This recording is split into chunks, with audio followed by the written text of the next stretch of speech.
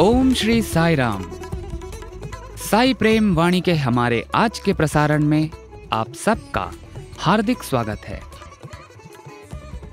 आज हम आप सबके लिए लेकर आए हैं सुमधुर कार्यक्रमों की मनमोहक श्रृंखला।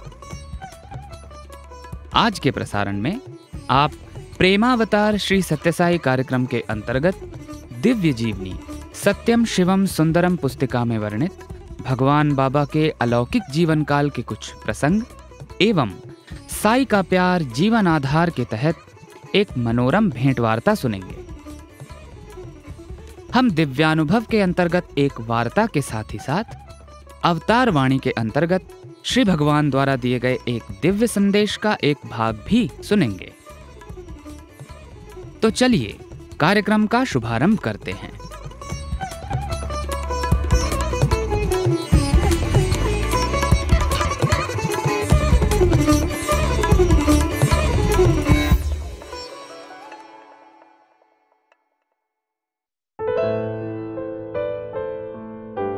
अब प्रस्तुत है हमारा कार्यक्रम अवतार वाणी। भगवान बाबा द्वारा 27 अगस्त सन 1984 को श्रीमद् भगवत गीता पर दिए गए दिव्य संभाषण का एक भाग आज हम प्रस्तुत करने जा रहे हैं।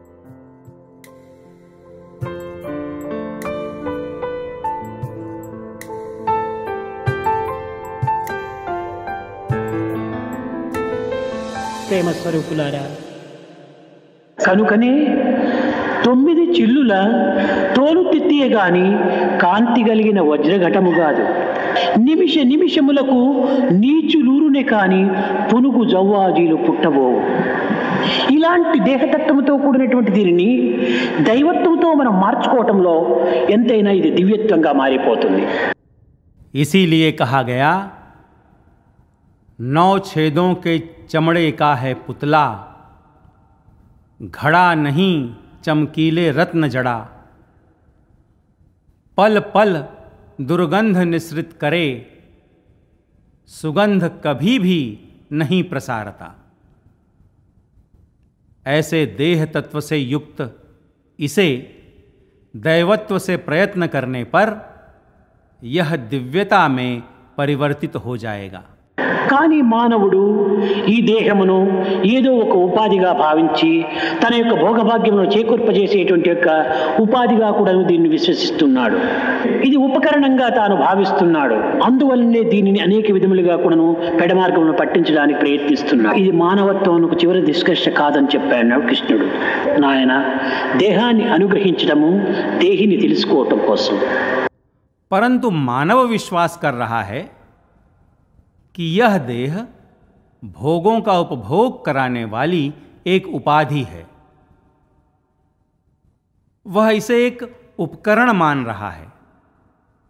इसीलिए इसे अनेक बुरे मार्गों में प्रविष्ट करा रहा है। श्री कृष्ण ने कहा कि यह देह मानवता का अंतिम निष्कर्ष नहीं है।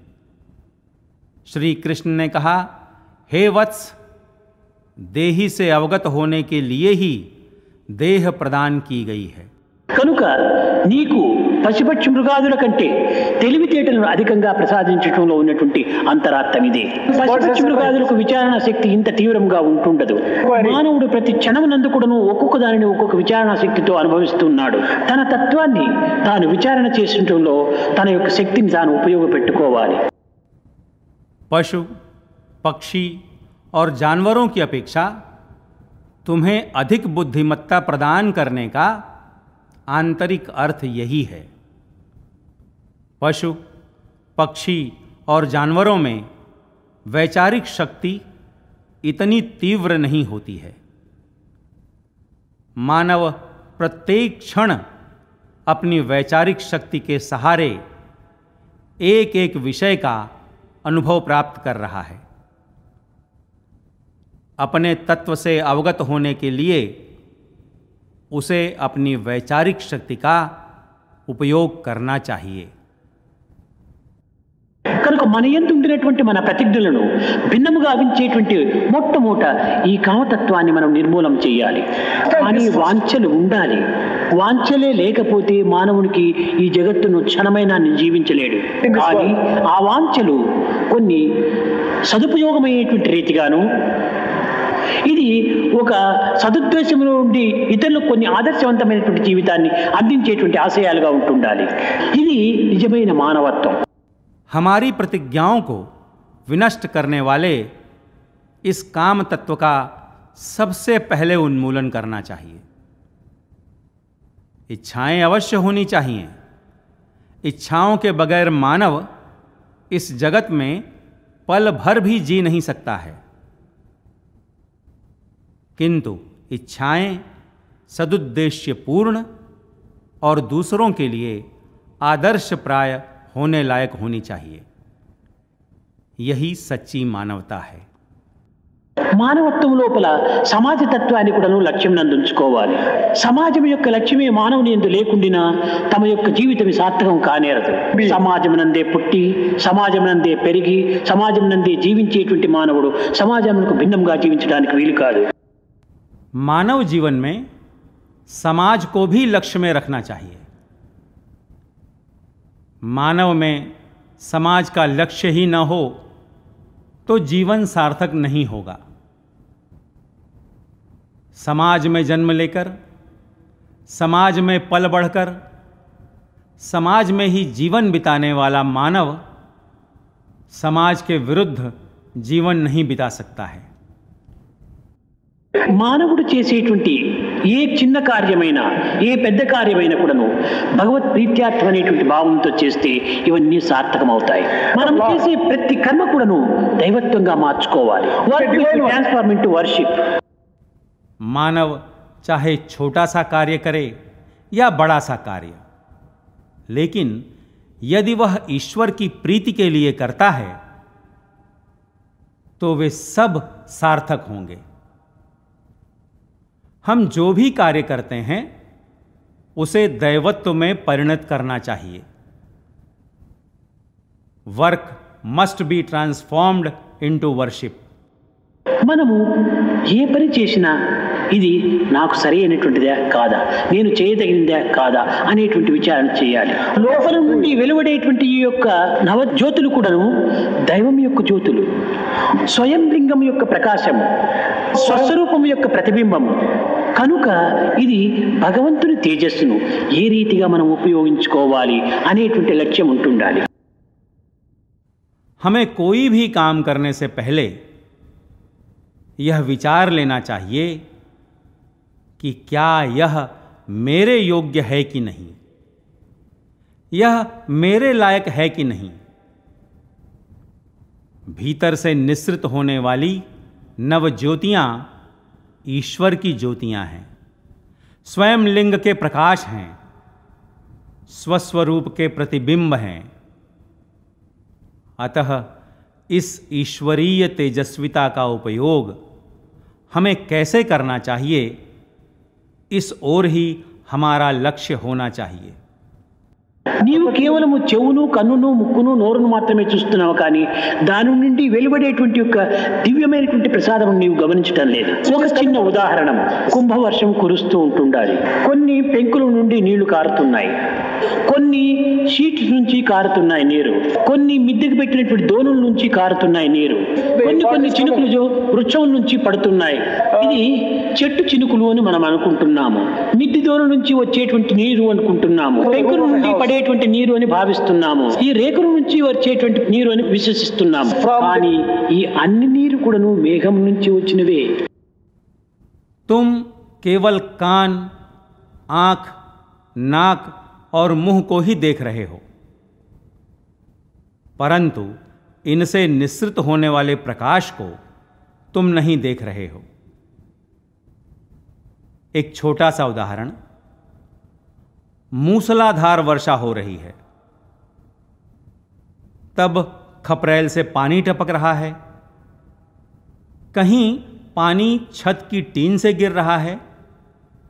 कहीं छत पर लगी नलियों से पानी गिर रहा है। पानी की बूंदें पेड़ों पर से टपक रही हैं। इन्हें हम पेड़ से गिरती बूंदें कह रहे हैं। छत की नलियों से गिरता पानी समझ रहे हैं। समझ रहे हैं कि खपरेल से पानी गिर रहा है। टीन से गिरता पानी समझ रहे हैं।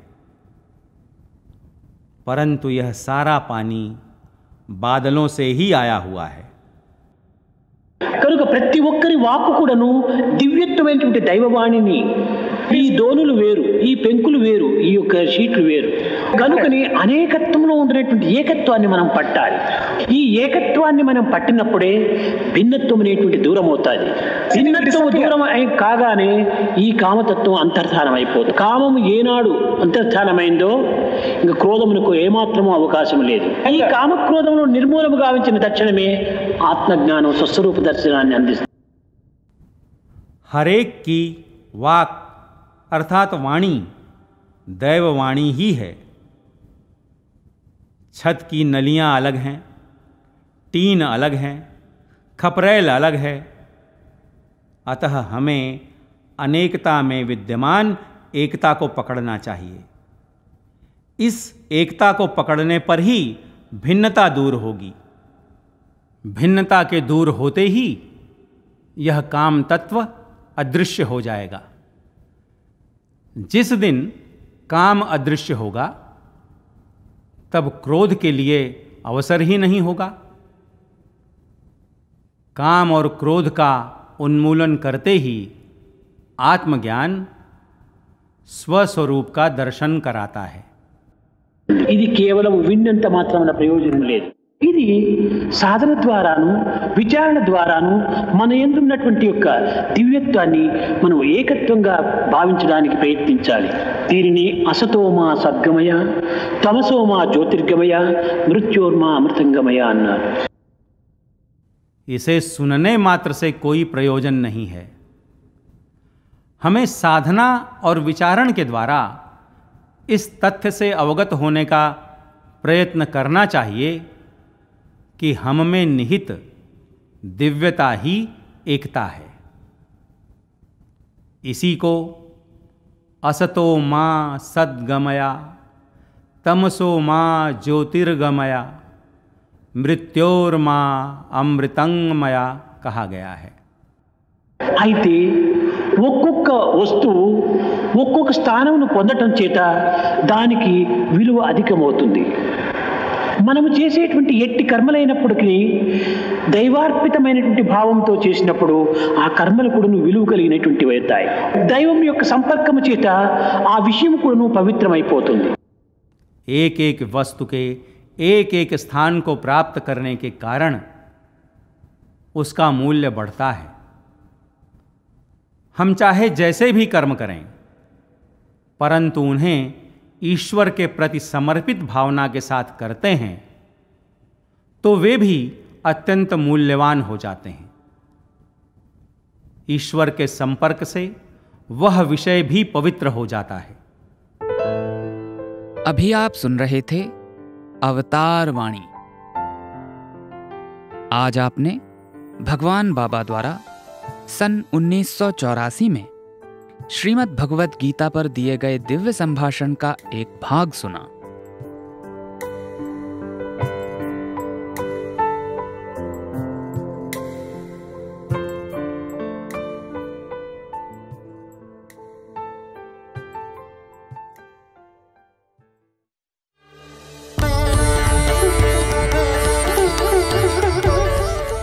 अब प्रस्तुत है हमारा कार्यक्रम, प्रेमावतार श्री सत्य साई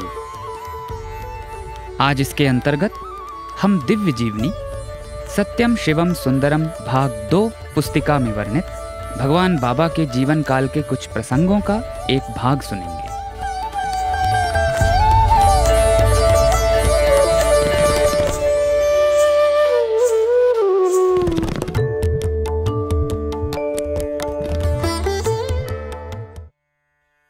इस दैविक परिवर्तन के प्रभाव से अन्य बहुत से कैदियों में भी परिवर्तन आया, जैसा कि उनके पत्रों से स्पष्ट होता है। जब से मैं इस जेल में आया हूँ, रामदास के समान सदा राम के ध्यान में तल्लीन रहता हूँ। दस वर्षों में एक बार मुझे अपने घर जाने और अपने स्वजनों, माता, भाई तथा अन्य नाते रिश्तेदारों से मिलने की अनुमति मिलती है। मेरी माँ ने मेरा लालन पालन किया और आदमी बनाने के लिए बड़ा त्याग और परिश्रम किया। लेकिन उसके बदले में मैंने उसे केवल दुख, शोक और संताप ही दिया है। अब जबकि वो वृद्धावस्था में है, मैं उसकी सेवा कर सकने में असमर्थ हूँ। मुझे बड़ा पश्चाताप है। कुछ वर्षों से मेरे मन में यह प्रेरणा हुई कि मैं आपके पास आकर रहूँ और आपकी चाकरी करता हुआ ही ये देह त्यागूं। एक कैदी लिखता है एक अपराध के फलस्वरूप हम तीन भाई इस जेल में सजा काट रहे हैं। हम सदा इस बात के लिए प्रयत्नशील हैं कि हमारा भटकता हुआ मन आपके चरण कमलों के ध्यान में लगा रहे। हम अभागों का भाग्य न जाने कब जागेगा। हम कब प्रतिपति भगवान के दर्शन कर सकेंगे। एक कैदी लिखता है, जब से हमने आपका दिव्य नाम और दिव्य कथा सुनी है, तब से ही आपके नाम का सदा मनन करते रहते हैं। और नाम स्मरण से हमें वैसा ही आनंद मिलता है, जिस प्रकार एक बालक को मिठाई की गोली चूसते रहने से। आपके भेजे हुए पत्र और साहित्य का सभी कैदियों ने बड़े आदर और सम्मान के साथ स्वागत किया है और उसे प्राप्त कर अपने भाग्य को सराहा है। वो पत्र एक के बाद दूसरे के हाथ में पहुँचा और आपके संदेश को सभी ने बड़े उत्साह और आनंद के साथ अपने हृदय में धारण किया। उसके दर्शन, स्पर्शम और पठन के सौभाग्य की स्पर्धा में वो कागज़ कई स्थानों पर मुड़ और फट गया। किंतु हमने उसे चिपकाकर ठीक कर लिया और फ्रेम में मढ़वाकर पूजा गृह में रख दिया है, जिससे कि उसे सब लोग पढ़ सकें। कैदी लोग बाबा को अपने चित्र, पुस्तकें, भजन संग्रह आदि भेजने के लिए लिखते हैं और नोटबुक और कॉपियाँ मंगवाते हैं, जिनमें वे राम नाम लिख सकें और जितने लाख राम नाम का लक्ष्य निर्धारित किया है, उसे सतत रूप में लिखते रहकर पूरा कर सकें। कभी वे बाबा को अपने घर में संकटग्रस्त बाल बच्चों और भाई बहनों के संबंध में लिखते हैं कि, बाबा, उनकी रक्षा करें। बाबा ने ऐसे पत्र पाकर अनेकों बार उन कैदियों के घरों पर मनी ऑर्डर से रुपए भिजवाए हैं और उनके द्वारा दिए गए पतों की पुष्टि हो जाने और ये ज्ञान हो जाने पर कि उनके लोग वास्तव में जीवित हैं। बाबा ने उन्हें कपड़े तथा अन्य वस्तुएँ भिजवाई हैं और सांत्वना और सहानुभूति भरे पत्र लिखे हैं। श्री कस्तूरी जी लिखते हैं कि हृदय परिवर्तन के इन वर्णनों को एक और पत्र से उदाहरण देकर समाप्त करता हूँ। पत्र का लेखक भी साई प्रेरित उन साधकों की संगति पा गया और उसने लिखा, मैं नेपाल का निवासी हूँ। आप तो हिमालय हो आए हैं और जानते हैं कि नेपाल के लोग भगवान में विश्वास रखने और उनसे डरने वाले हैं। मैं अपने दुष्कर्मों और पापों के फलस्वरूप इस कारागार में दंड भुगत रहा हूँ। मैं ये भली प्रकार समझता हूँ कि ये मेरे हित में है। आपने अपने एक पत्र में मेरे एक साथी को लिखा है कि सृष्टि के रचयिता कमलनाभ को भी कष्ट सहने पड़ते हैं तो फिर हम नश्वर शरीरधारी, दीन मनुष्यों की तो बात ही क्या है? कुछ महीनों से जेल में आपका नाम स्मरण और कथा का नियमित रूप से पाठ होता है। इस भक्ति के प्रवाह में मेरा भी मन और मस्तिष्क डुबकी लगा लेते हैं और साथ साथ उस प्रवाह में बहे चले जाते हैं। जो पत्र आपने कुछ दिन पूर्व भेजा था, उसका मुझ पर पिछले पत्रों से अधिक और गहरा प्रभाव हुआ है। मुझे तो ऐसा लगा कि वो पत्र आपने मुझे ही मेरी समस्याओं और उलझनों को ध्यान में रखते हुए लिखा है। जब मैं वो पत्र पढ़ रहा था तो मैं आश्चर्यचकित हक्का बक्का रह गया। कौन जानता है कब और किस रूप में आपकी कृपा दृष्टि होती है? आप मेरे हृदय में बस गए हैं और मैं आपको अपना हृदयवासी साई कहता हूँ। हजारीबाग और गया की जेलों में भी बहुत से कैदियों ने बाबा को अपना संरक्षक और सहारा मान लिया है। और उनका आश्रय ग्रहण कर लिया है।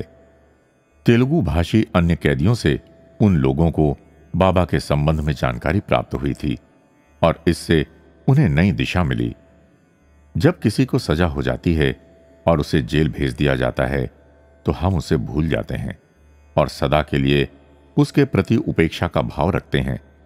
किंतु हमें यह जानकर आश्चर्य होगा कि बाबा जेल की दीवारों के भीतर लोहे के सींखचों के पीछे दुखी हृदयों, पश्चाताप के तड़पते मनों, अनिद्रा और बेचैनी में डूबे चित्तों को शांति प्रदान करने और ढाढ़स बंधाने तथा उनके जीवन में नई आशा का संचार करने के लिए उनके साथ होते हैं। अधिकतर अपराध उस समय होता है जब मनुष्य घृणा, विद्वेष ईर्षा और क्रोध के क्षणिक आवेश में अंधा हो जाता है। फिर अपराधी पश्चाताप करता है और सिर धूमता है। ऐसे लोगों को, जो अपने दोषों और कमजोरियों को समझकर सच्चे हृदय से पश्चाताप करते हैं और अपने भावी जीवन को सफल और सार्थक बनाना चाहते हैं, सच्चे मार्गदर्शक और संरक्षक की आवश्यकता होती है।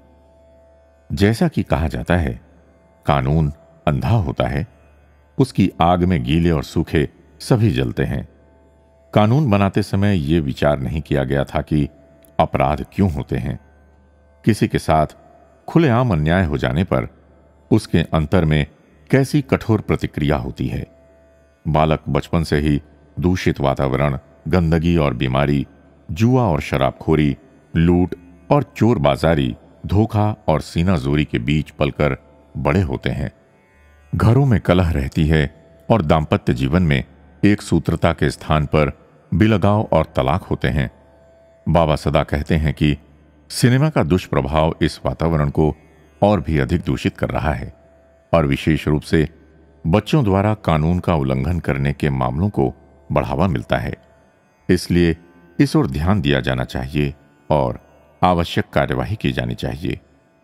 साहित्यकारों, कलाविदों, नाटककारों और संगीतज्ञों को बाबा का कहना है कि उन पर बहुत बड़ा उत्तरदायित्व है। अतएव उनको चाहिए कि समाज की रुचि का परिष्कार करें और उन्हें स्वस्थ मनोरंजन प्रदान करें। आजकल सच्चाई, ईमानदारी और सरलता के स्थान पर चालाकी और चतुराई को प्रश्रय दिया जाता है। स्कूलों और कॉलेजों में धर्म और नैतिक आचरण की शिक्षा नहीं दी जाती है। समाज में बड़े कहलाने वाले लोग भी जिस प्रकार निर्लजता के साथ भ्रष्टाचार मिलावट और धोखाधड़ी में लीन अपने स्वार्थों की साधना में लगे रहते हैं। वास्तव में इन सब बातों के कारण समाज में अपराध बढ़ते जा रहे हैं। जिस प्रकार माँ अपने बिगड़े हुए बच्चे को अधिक प्यार करती है और उसकी संभाल रखती है, जिससे कि वो सही मार्ग पर आ जाए और उसका जीवन सुधर जाए, इसी प्रकार बाबा भी पश्चाताप करने वाले, जीवन को सुधारने वाले अपराधियों की ओर अधिक ध्यान देते हैं, जो उनके सबके प्रति समान रूप से व्यापक प्रेम का परिचायक है। बाबा सदा इस बात पर बल देते हैं कि अपराधी को अपना अपराध स्वीकार करना चाहिए, और जो भी दंड मिले, सहर्ष स्वीकार कर लेना चाहिए, तथा सदा ही यह निश्चय कर लेना चाहिए कि वो फिर कोई अपराध नहीं करेगा। बाबा कहते हैं, साहसी बनो, जो कुछ परिणाम हो उसे सहन करने के लिए तैयार रहो। कभी हिम्मत न हारो। धैर्य रखो और सहनशील बनो। यदि कोई पाप हो गया हो तो सच्चे हृदय से प्रायश्चित करो। दंड की अवधि को प्रायश्चित और अंत शुद्धि में बिताओ।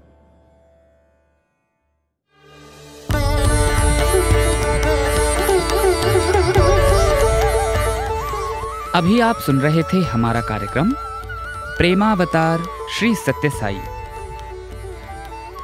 आज दिव्य जीवनी सत्यम शिवम सुंदरम भाग दो पुस्तिका में वर्णित भगवान बाबा के जीवन काल के अलौकिक प्रसंगों का एक भाग प्रस्तुत किया गया था।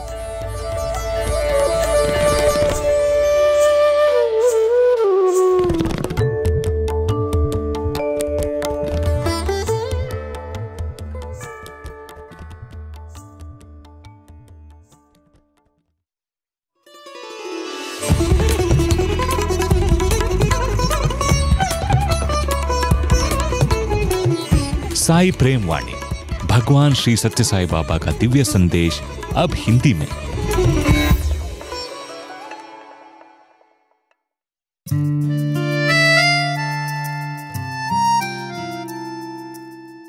अब प्रस्तुत है हमारा लोकप्रिय कार्यक्रम, साई का प्यार जीवन आधार आज इसके अंतर्गत हम न्यूजीलैंड देश के ऑकलैंड निवासी श्रीमान रविंद्र ग्रोवर जी के साथ हुई हमारी भेंट वार्ता का एक भाग प्रस्तुत करने जा रहे हैं। ये भेंट वार्ता हमारे स्टूडियो में 24 दिसंबर सन 2012 को रिकॉर्ड की गई थी।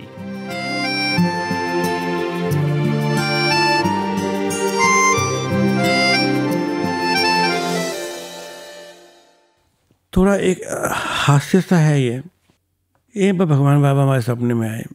कहते अपनी बहन को बोलो कम एंड सी मी मेरी बहन दिल्ली में है। उनका जी जी स्वामी। सुबह उठते मैंने बहन को फ़ोन किया भाई स्वामी बता रहे हैं कम एंड सी मी कहते अच्छा मैं कभी जाऊँगी। उसके बाद स्वामी मेरे एक मामा की बेटी है सपने में है। दो बहनें हैं। बोले यू टू तुम दोनों मेरे को मिलने आओ रवि अंजनी के साथ। तो हम वहाँ से न्यूजीलैंड से यहाँ पर आए। उनका भैया स्वामी सपने में आए थे कह रहे थे कि आप दोनों यहाँ मिलने आओ। मैं चलिए। मेरी बहन का प्रोग्राम था नहीं। तो अचानक से चलने से पहले दो तीन दिन पहले फिर सपने में आए कज़न सिस्टर के। कहते हैं सतारह अठारह उन्नीस बीस इक्कीस। अब पाँच नंबर बोले अब अब मतलब क्या मालूम नहीं। अचानक से उनका भी चलने का प्रोग्राम बन गया मेरी बहन का प्रोग्राम बन गया। वो पाँच लोग थे लेकिन लास्ट मिनट पे टिकट अरेंज नहीं हो पा रहे थे। रेलवे बुकिंग कराई वो वेटिंग लिस्ट में थे। अचानक शाम को फ़ोन आता है रेलवे स्टेशन से कि अभी अभी पाँच टिकटें कैंसिल हुई हैं। Would you like to take it train कब है? कहते ट्रेन आज रात को है। एकदम से अरेंज किया गया। उनको मिला सीट नंबर सतारह अठारह उन्नीस बीस इक्कीस। साई राम साई राम। यहाँ पुट्टापर्थी पहुँचे वो पाँच दिन यहाँ पर रहे। डेट थी सतारह अठारह उन्नीस बीस और इक्कीस जब यहाँ पर पहुँचे हम सात लोग थे पाँच फैमिली मेंबर दो मैं मेरी पत्नी। वेरी फ़र्स्ट डे सत्रह जनवरी की बात है नाइन्टी एट सातों के सपने में स्वामी है। सातों के सपने में स्वामी है। सबको अपना अपना को एक्सपीरियंस दिया। लेकिन मेरी वाइफ को बोले आके I see you on first of February तो सुबह उठ के मेरी वाइफ ने बताया फ़र्स्ट फेबररी को? मैंने क्या बात करते हैं? इतना टाइम थोड़े रहने लगे हम लोग। हम तो खाली हफ़्ते भर के लिए आए हैं। उस समय न्यूजीलैंड से एक और ग्रुप भी यहाँ आया हुआ था। तो हम चाहते थे ग्रुप को ज्वाइन कर लें उनके साथ लेकिन नहीं कर पाए। दशा में भगवान बाबा मेरे पास आए कहते वे आर यू फ्रॉम मैं स्वामी न्यूजीलैंड। तो हाउ मैनी मैं स्वामी टू। कहते ओके आगे चले गया दूसरा ग्रुप था where are you from New Zealand. How many ten eleven go उनको इंटरव्यू बुला लिया। वो था thirty first of January two nineteen ninety eight तो मेरी वाइफ बहुत ज़्यादा हर्ट हो गई। कि मैं पूरा साल छुट्टी नहीं लेती हूँ एक दिन की छुट्टी नहीं लेती पूरे साल में। छुट्टियाँ इकट्ठी करती ताकि छुट्टियाँ बचेंगी हम प्रशांति जाएँगे स्वामी के दर्शन के लिए। और स्वामी यहाँ पर हम आते हैं तो आप हम इग्नोर कर देते हो। बहुत ज़्यादा अपसेट तो अगले दिन सुबह मैंने उठ के स्वामी को लेटर लिखा। मैं स्वामी हमारी शादी हुई थी क्योंकि आपने बताया था हमारी शादी करने के लिए। आपके डायरेक्शन से आपके निर्देश से आपके आदेश से हमारा विवाह संपन्न हुआ। उस नाते थे ये तो आपकी पुत्री लगती है। अगर ये आपकी बेटी मैं तो आपका दामाद लगता हूँ। कोई दामाद से ऐसा व्यवहार करता है कि मैं आपको पुकार रहा हूँ बुलाते नहीं आप। पत्र में लिखकर दक्षिण एरिया में पत्र में लिख के पत्र को नीचे रख हाथ में लेके बैठा हूँ। अचानक भगवान बाबा चलते हुए मेरे सामने खड़े हो गए। मेरे मन का विचारधारा बदल गई। मुझे लगा नहीं ये भगवान है मुझे भगवान को ऐसे नहीं लिखना चाहिए। मैंने पत्र को नीचे रख दिया अंडर द क्वेश्चन ताकि भगवान को नज़र ना आए। वो हाथ जोड़ के बैठ गया। मेरे सामने खड़े हो गया। लेफ़्ट राइट बाएँ दाएँ सबसे पत्र ले रहे हैं। मैंने कहा पर नमस्कार लिया। मेरे को देख स्माइल किया। गिव मी योर लेटर मैं स्वामी ठीक है आई एम फाइन मैं आपको बता देना नहीं चाहता। मैं जानता मैंने क्या लिखा है। हम्म, हम्म, दोबारा बोले गिव मी योर लेटर फिर मैंने चुप कर लोग मुझे कहते हैं तुम लेटर क्यों नहीं दे रहे हो? हम्म। मैं भैया मुझे मालूम मैंने क्या लिखा है. फिर मैंने स्वामी को लेटर दिया उनको हाथ पकड़ लिया। मैं Swami I am sorry please बुला लो। वे आर यू फ्रॉम गा के बोले where are you from where Swami New Zealand how many two Swami go first February 1990 क्या बात है। इंटरव्यू में वो मेरे जीवन का सबसे सुंदर दिन है। इंटरव्यू रूम में हम तीन लोग थे भगवान बाबा और हम दोनों मैं मेरी पत्नी। हम्म, मेरी पत्नी से बात करने लग गया you very upset last night with him तो मैं झगड़ा किया उसके साथ है ना? वो यस स्वामी. आपको तो मौका मिला मुझे मौका मिला कभी करने का। कहते हैं नहीं शी आर फ्रस्ट्रेटेड ना Swami calling Swami not calling calling not calling it's love because of love why do you go for surgery एक कोई ऑपरेशन हुआ था मेरी वाइफ का। तुमने सर्जरी क्यों कराई? कि स्वामी डॉक्टर्स ने बोला हमें करा ली. कहते नहीं तुम्हें कोई बीमारी नहीं है तुम्हें कोई सर्जरी नहीं करनी है. जी स्वामी। फिर वाइफ से बोलते हैं तुम क्या चाहती हो? Tell me whatever you want I will give you you want children I will give what do you want मेरी वाइफ ने हाथ जोड़े स्वामी मुझे केवल आपकी भक्ति चाहिए और कुछ नहीं चाहिए। उनके सर पे हाथ लगा भक्ति है। फिर मेरी तरफ़ मुड़े पुत्र मेरे से हिंदी में बोल रहे हैं। पुत्र क्या चाहते हो?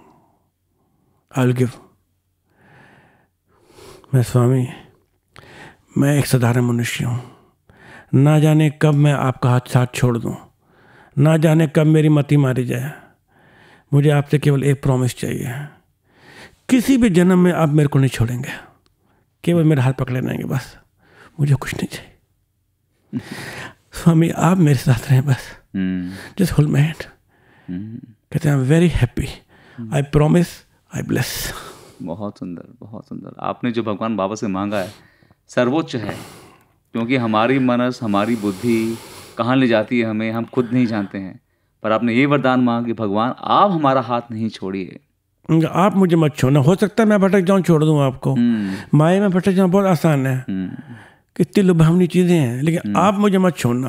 हम्म, कहते हैं आई प्रॉमिस आई ब्लेस बहुत सुंदर जीवन मुझे लगा मेरा जीवन सफल ऐसा। वरदान मिलने से। फिर हम लौट के वापस आए न्यूजीलैंड में। डॉक्टर ने बोला मेरी वाइफ को go for another surgery hmm, immediately surgery require उसी रात को स्वामी सपने में आए। तो what did I tell you no surgery मैंने क्या कहा था कोई बीमारी नहीं है कोई सर्जरी की ज़रूरत नहीं है। तो मेरी वाइफ ने मना कर दिया कुछ भी हो जाए शरीर को मैं सर्जरी नहीं कराऊँगा। मेडिकल चेकअप हुआ सब ठीक बहुत सुंदर। मैं ऐसे बोलता हूँ divine healing divine healing doctor of all doctor doctors के सब डॉक्टर हैं भगवान बाबा। उनका संकल्प ही काफ़ी है। उनका संकल्प काफ़ी है। उन्होंने कह दिया हो गया। बिल्कुल बिल्कुल। तो बहुत सुंदर रविंद्र ग्रोवर जी जो आपके अनुभव हैं ना सिर्फ़ उनमें के अंदर की एक भगवान बाबा के सर्वज्ञ भगवान होने की पूर्ण अवतार होने की झलक हमें दिखाई देती है और बल्कि ये भी कि वे सर्वज्ञ और पूर्ण अवतार हैं। और हमारे जीवन के वही रखवाले हैं वही हमें उसको गाइड कर रहे हैं उसको निर्देश वही कर रहे हैं। जैसे मैंने आपको बोला कि मैं ज्योतिषी में काम कर रहा हूँ भगवान बाबा ने कहा कई बार कई चीज़ समझ नहीं आती है। सपने में आ जाते हैं। अरे बुद्धू page number two thirty four ये किताब पढ़ो। हम्म, हम्म, सोच मिल जाता है। क्योंकि वही तो स्रोत हैं सारे ज्ञान वही जी हैं। एक बार साक्षात साक्षात्कार में बैठे थे मैं अपने किताब लेके बैठा। स्वामी आपने मुझे बोला है डू एस्ट्रोलॉजी मैं इस तरीके से कर रहा हूँ ये कर रहा हूँ। हाउ डू आई इम्प्रूव अच्छा मैं ज़्यादा स्मार्ट बनने की कोशिश कर रहा था। मैं Swami how do I improve कहते हैं do with more love beautiful beautiful बहुत सुंदर। उन्हें सर पे हाथ रखा। हम्म, कहते हैं गो फॉर कॉन्फ्रेंस अच्छा। मैं कहा इतनी मेरी हैसियत नहीं है इतना ज्ञान नहीं है मैं कॉन्फ्रेंस में जा सकता हूँ. हम्म, हम्म, हम यहाँ से लौट के दिल्ली पहुँचे। उसी हफ़्ते मुझे लेटर आ गया invitation to attend all India exposure conference अच्छा।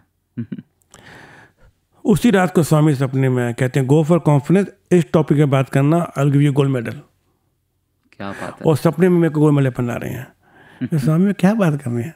हम्म, कॉन्फ्रेंस में मैं गया एक महीने बाद हम्म, एंड कॉन्फ्रेंस के एंड में दे गए मेरा गोल्ड मेडल देखिए तो इसमें असल में मेरा कोई योगदान नहीं है। नहीं भक्त के लिए उनका योगदान यही है कि अपने मन को रोक कर भगवान बाबा के आदेश का अनुसरण करें यही योगदान है क्योंकि करना तो भगवान नहीं है। उनकी अनुकंपा है। सब कुछ वो कर रहे हैं।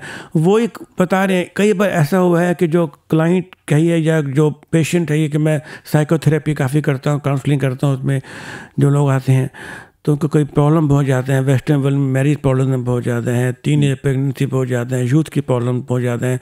तो उनको एस्ट्रोलॉजी के माध्यम से सॉल्व करने की कोशिश करते हैं धीरे धीरे तो कई बार ऐसा होता है स्वामी अपने में बताते हैं कल ये बंदा आ रहा है ये प्रॉब्लम है।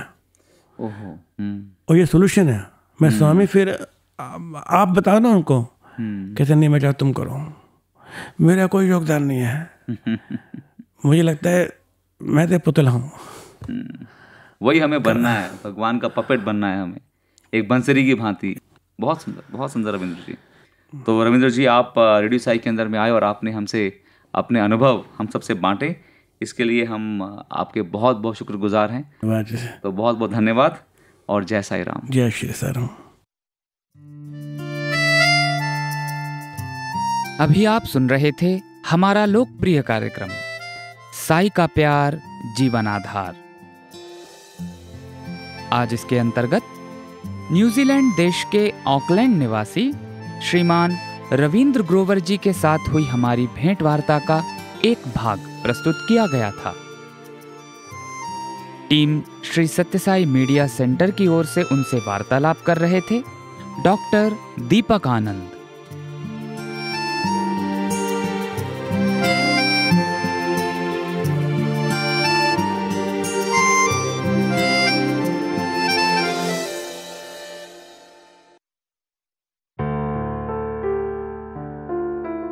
अब प्रस्तुत है हमारा कार्यक्रम दिव्यानुभव।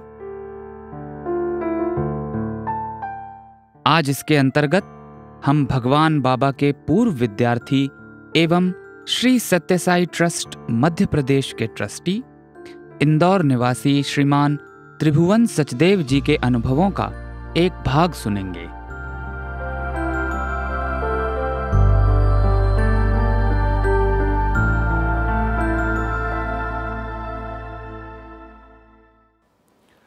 ओम श्री साई राम भगवान बाबा के कमल रूपी चरणों में मेरा कोटि कोटि नमन। मैं जब अपनी व्यक्तिगत यात्रा की बात करता हूँ तो सबसे पहले मुझे 1972 का वह वाक्य याद आता है, जब मेरे पिता के चाचा जी ने उनको बाबा के बारे में एक पुस्तक ला करके दी और उस पुस्तक के साथ ही हमारे पूरे परिवार की यात्रा भगवान की ओर अग्रसर हो गई। एक जनवरी 1973 बेंगलोर वाइटफील्ड जब सबसे पहली बार बाबा का दर्शन करने का मुझे सौभाग्य प्राप्त हुआ। मैं मात्र साढ़े ग्यारह बारह वर्ष का रहा होऊँगा उस समय। और बाबा पर जब जो ही पहली नज़र गई तो एक ऐसा आकर्षण बाबा के प्रति जागृत हुआ और शाम को जब दर्शन के लिए वापस बैठे तो वहाँ एक वॉल्टियर से पूछा कि क्या हम बाबा को हा, हार या फूल दे सकते हैं? तो उस व्यक्ति ने कहा क्यों नहीं? जब बाबा आपके सामने से गुजरे तो आप बाबा को हार पहना सकते हैं। मैं और मेरा भाई हम दोनों एक एक फूल माला अपने हाथ में लेकर के बैठ गए। और जो ही बाबा हम सबके सामने से गुजरे हम दोनों भाई इकट्ठे खड़े हुए और बाबा को फूल माला समर्पित करने का प्रयास किया और बाबा ने बहुत प्रेम से मुस्कुरा करके देखा और हिंदी में बोले, बैठो बैठो। और मुझे समझ में नहीं आया कि इतने सारे साउथ इंडियन लोगों में बाबा को कैसे पता चला कि हम लोग हिंदी जानते हैं? और बाबा ने हमको बिठा दिया और बहुत प्यार भरी निगाह से देखा। तीन चार दिन गुजर गए। बाबा ने उसके बाद हम में से किसी से भी बात नहीं की। तो मेरी माता जी भी हमारे साथ में थी तो उनके दिल में एक ख्याल आया कि बाबा तो शायद बड़े लोगों के हैं, छोटे लोगों की ओर वो देखते ही नहीं हैं। तो हम लोग भी छोटे लोग हैं, इतनी दूर से आए हैं, पता नहीं बाबा हम में से किसी से बात करेंगे कि नहीं। अभी यह मन में ख्याल आ ही रहा था कि बाबा अचानक चलते हुए दर्शन में जो हमारा कार का ड्राइवर है, उसके पास पहुँच गए। और उससे प्रेम से पूछा, तुम कहाँ से आया? तो उसने हाथ जोड़ करके कहा, स्वामी इंदौर से। और स्वामी ने, मान लो मेरी माता जी को यह जवाब दे दिया कि मेरे लिए कोई भी छोटा या बड़ा नहीं है। देखो, मैं तुम्हारे ड्राइवर तक से बात करके तुमको यह संदेश दे रहा हूँ। और वापस आते ही भगवान ने पूरे परिवार को ऑर्गेनाइजेशन में समेट लिया। पिताजी को कुछ अहम जिम्मेदारियाँ दे दी गई। माता जी को अहम जिम्मेदारियाँ दे दी गई। हमारे घर में बाल विकास की कक्षा शुरू होनी हो गई और जो हमारे वाइस चांसलर थे, श्री सत्य साई यूनिवर्सिटी के, Shri Sathya Sai institute of higher learning के पहले वाइस चांसलर, श्री वी के गोकक, उनकी बेटी जो थी, वह उस समय इंदौर में थी और वे हमारे बाल विकास की पहली गुरु बनी। और उनके साथ बैठ करके बाल विकास के अंदर जो कुछ सीखने का मौका मिला यह उनको श्रेय जाता है। 1978 के आसपास जब मैं अपनी दसवीं कक्षा पास करके ग्यारहवीं में गया तो मेरे पिताजी ने मुझको और मेरे छोटे भाई ध्रुव को, हम दोनों को बुलाया और उन्होंने कहा कि मेरे हृदय में यह बहुत इच्छा है कि तुम दोनों बेंगलोर में बाबा के कॉलेज में जाओ और वहीं पर अपना अध्ययन करो। कॉलेज एजुकेशन पूरी वहीं से प्राप्त करो। तो मैंने पिताजी से पूछा कि पिताजी, वहाँ वातावरण कैसा है? बेंगलोर तो बहुत एडवांस सिटी है तो वहाँ आप हमें भेज रहे हैं। तो पिताजी ने मुस्कुरा के कहा, नहीं, वो तो बहुत निर्मल वातावरण है वहाँ। बहुत अच्छी जगह है। वहाँ स्टूडेंट्स बहुत सिंपली रहते हैं, बहुत साधारण कपड़े पहनते हैं, सफ़ेद शर्ट सफ़ेद पैंट पहनते हैं। पिक्चर्स नहीं देखते मोटरसाइकिल पर घूमने नहीं जाते। सुबह शाम भजन करते हैं और सबसे बड़ी बात कि उनको बाबा का सानिध्य प्राप्त होता है। और बाबा के सानिध्य प्राप्त होने की वजह से ही उनके जीवन में एक बहुत बड़ा सुधार आ जाता है। यह सुन करके मेरा दिल कुछ बैठ गया। मैं एक सत्रह अठारह वर्ष का नवयुवक था, जिसकी आँखों में कुछ सपने थे।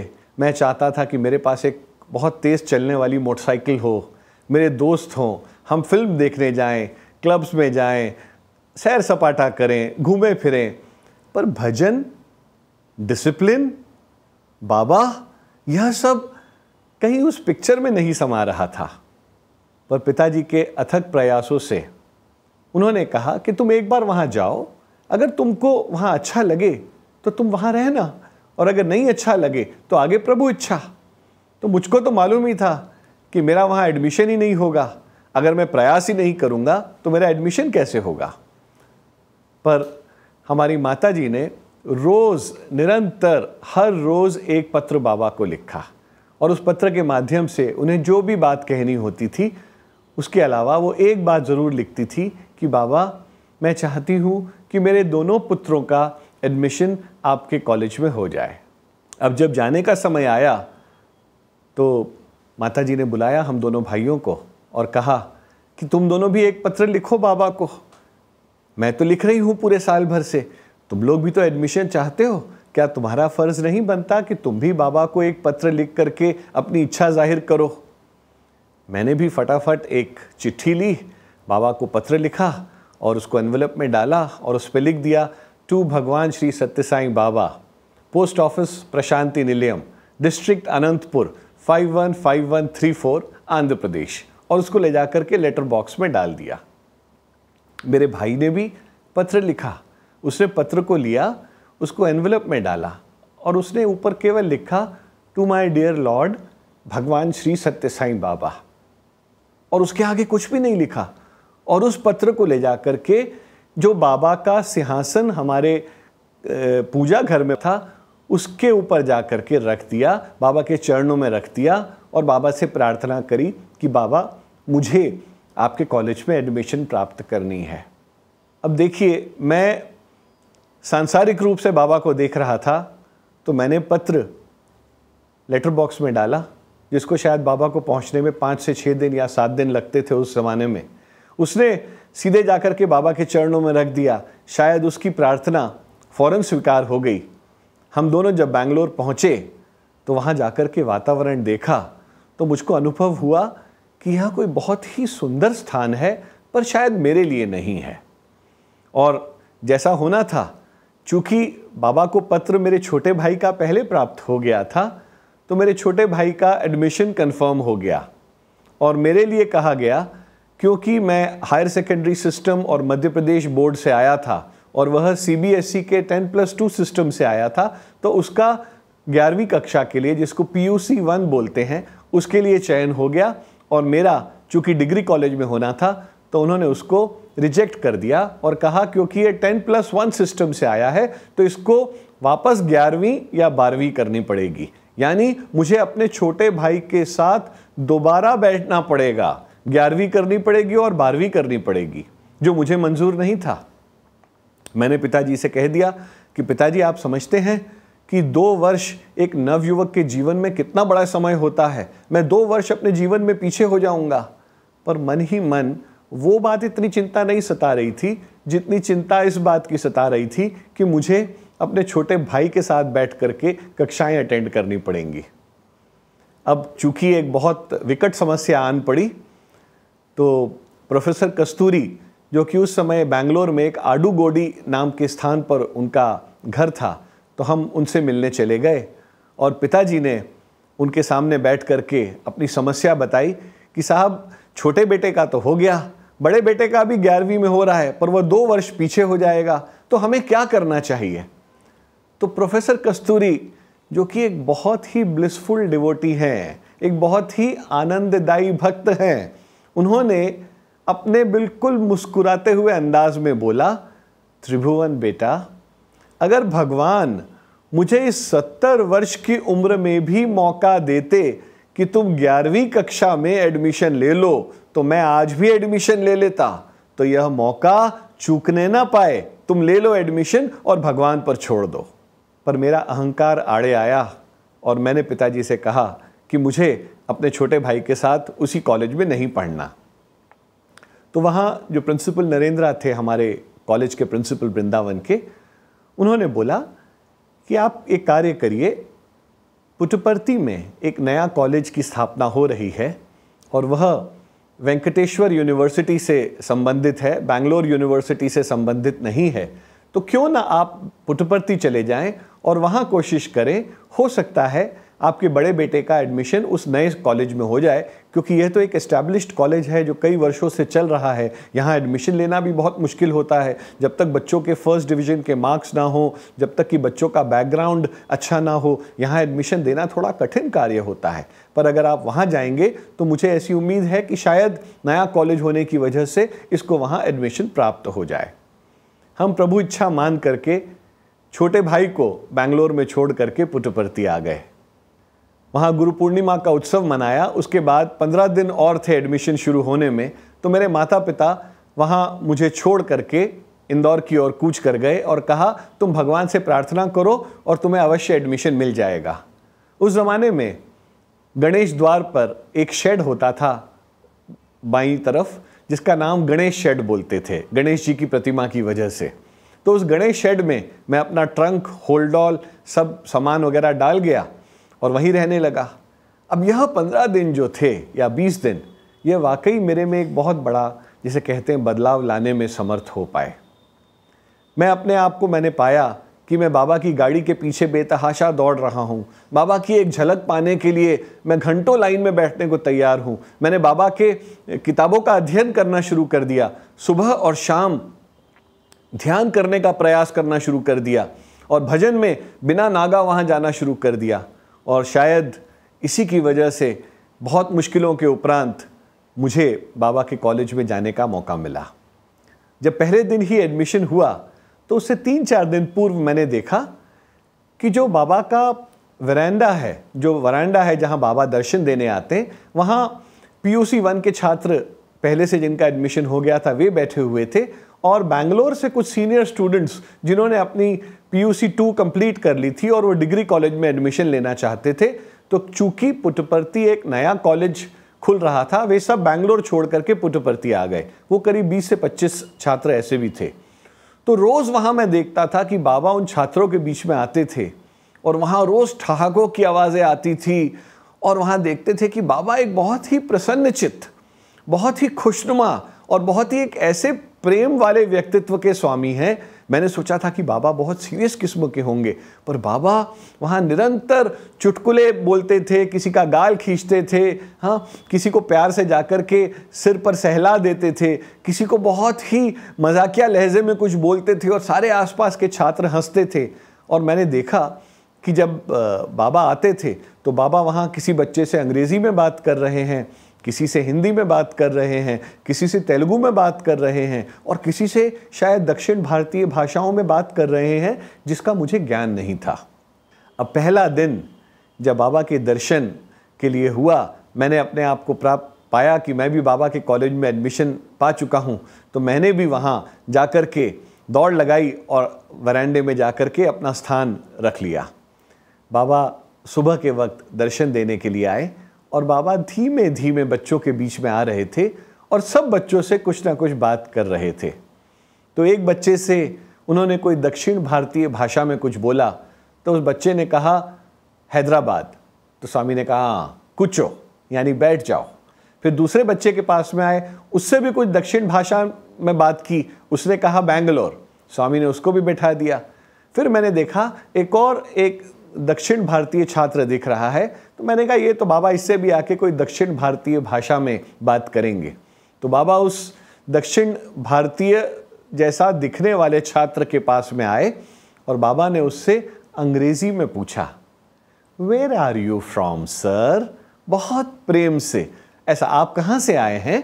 तो उस व्यक्ति ने अपने घुटने के बल खड़े होकर के अंग्रेज़ी लहजे में कहा, Swami I am from the United States of America उसका एक्सेंट जो था, उसका बोलने का जो लहजा था, वह दर्शा रहा था कि वह कभी भी भारत में नहीं रहा और उसने उत्तर में कहा कि, स्वामी, मैं तो अमेरिका से आया हूँ। तो यह सुन के मुझे बड़ा आश्चर्य हुआ। मुझे लगा कि स्वामी इससे कोई दक्षिण भाषा में बात करेंगे, पर उससे तो स्वामी को मालूम था कि इसको शायद कोई दक्षिण भाषा आती नहीं है और यह चाहे इसके माता पिता दक्षिण के रहे होंगे, पर यह तो अंग्रेज़ी जानता है और स्वामी ने उससे अंग्रेज़ी में बात की। फिर स्वामी, मेरी ओर देख करके मुस्कुराए और मेरी ओर धीमे धीमे कदम रखते हुए आए। मैंने अपने दोनों हाथ बाबा के समक्ष जोड़ लिए और मुस्कुराते हुए बाबा की ओर देखने लगा और मन ही मन एक सवाल आया कि, स्वामी, अब आप मुझसे किस भाषा में बात करेंगे? मुझे अंग्रेज़ी और हिंदी के अलावा कोई भाषा आती नहीं है। पंजाबी आती है, पर पंजाबी आपको नहीं आती। तो आप मुझसे किस भाषा में बात करेंगे? अभी यह मन में सवाल हो ही रहा था। स्वामी मेरी ओर मुस्कुराए और देख करके बोले, तुम कहाँ से आया? तो मुझे एकदम झटका सा लगा कि अरे, स्वामी जानते हैं कि मैं हिंदी भाषा जानता हूँ केवल। तो मैं अपने घुटनों के बल खड़ा हुआ और मैंने कहा, हाथ जोड़ करके, स्वामी, इंदौर से। तो स्वामी बोले, yes yes, you are from indoor, not from outdoor. और सब बच्चे आसपास जो बैठे हुए थे, वो खिलखिला के हंस पड़े। और स्वामी का कहने का आशय था, इसको इंग्लिश में कहते हैं शब्दों पर पन करना, पनिंग ऑन द वर्ड्स, यानी कि एक शब्द का दूसरा अर्थ निकालना। जो ही मैंने कहा कि स्वामी, मैं इंदौर से हूँ तो स्वामी ने कहा, तुम इंडोर से हो, यानी तुम अंदर से हो, तुम बाहर से नहीं हो। और मुझे पहली बार ऐसा प्रतीत हुआ। मान लो इस पहली ही मुलाकात में, इस पहली ही बात में स्वामी ने मेरा दिल जीत लिया और मुझे इस बात का एहसास करा दिया कि तुम तो मेरे अपने हो। तुम बाहर के नहीं हो।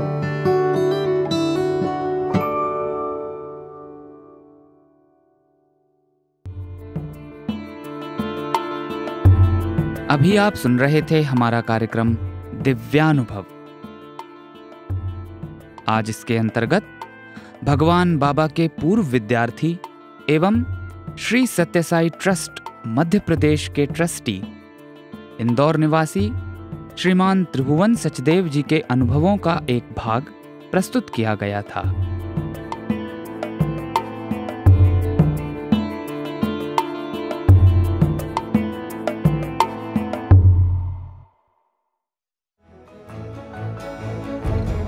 इसी के साथ हमारे साईं प्रेमवाणी कार्यक्रम के इस प्रसारण को हम यहीं विराम देते हैं। आशा है हमारा आज का कार्यक्रम आपको पसंद आया होगा। अपने सुझावों को हम तक ज़रूर भेजें। हमारा व्हाट्सएप नंबर है nine three nine three two five eight two five eight. तिरानवे तिरानवे दो सौ अंठावन दो सौ अंठावन। हिंदी भाषा में हमारी ये सभी प्रस्तुतियाँ YouTube पर भी उपलब्ध हैं। इन्हें वहाँ देखने या सुनने के लिए हमारे YouTube चैनल को सब्सक्राइब करें और कमेंट बॉक्स में अपने सुझाव देना न भूलें। हे स्वामी, आप दिव्य पिता हैं। हम आपके अंश। हम में गूंजे गीता के स्वर, स्वार्थ मोह न हमें बांधे कभी। हम करुणा सागर की बन जाएँ लहर। ये प्रार्थना आपके श्री चरणों में अर्पित करते हुए और ये प्रसारण आपको समर्पित करते हुए अब वाणी को विराम देते हैं। धन्यवाद। सप्रेम साई राम।